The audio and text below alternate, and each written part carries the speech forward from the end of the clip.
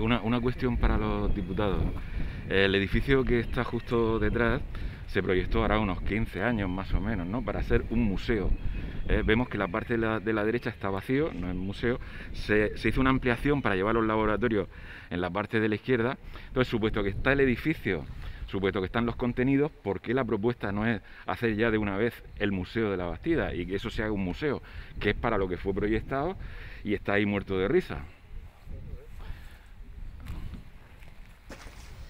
Bien, buenos días. Pues estamos totalmente de acuerdo con lo que pregunta, absolutamente. Eh, el problema que tenemos lo han explicado ya, este es un proyecto que se retomó en el año 2008, lo retomó la Universidad Autónoma de Barcelona, es un proyecto que viene mucho antes, eh, el Parque Arqueológico de la Bastida eh, podría convertirse perfectamente en un referente a nivel mundial y un polo de, de atracción de turismo y de riqueza eh, incluso yo diría algo más importante, de identidad para Totana. Es decir, que nosotros lo que queremos es que eh, efectivamente el museo se abra, el parque arqueológico se abra, que sea visitable, no de la forma en que se está haciendo.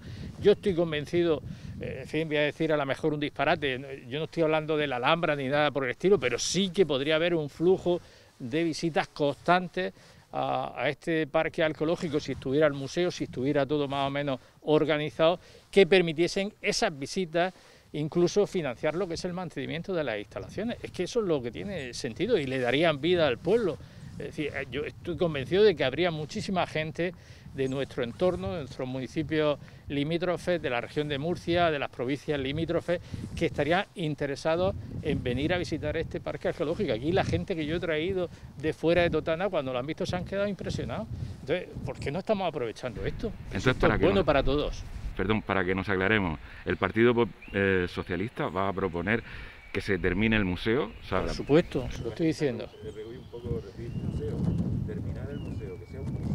No, no, es que yo soy más ambicioso de lo que está planteando usted. Yo creo que esto se tiene que transformar en un parque arqueológico con un museo, pero el museo tiene que formar una parte del conjunto y el conjunto tiene que ser el parque arqueológico, es decir, cuando aquí venga alguien a visitarlo, pueda visitar el museo, pueda visitar las instalaciones de yacimiento, incluso eh, pueda haber alguien que le dé eh, las suficientes explicaciones científicas, como nos han dado a nosotros esta mañana, que justifiquen toda la existencia de ese parque.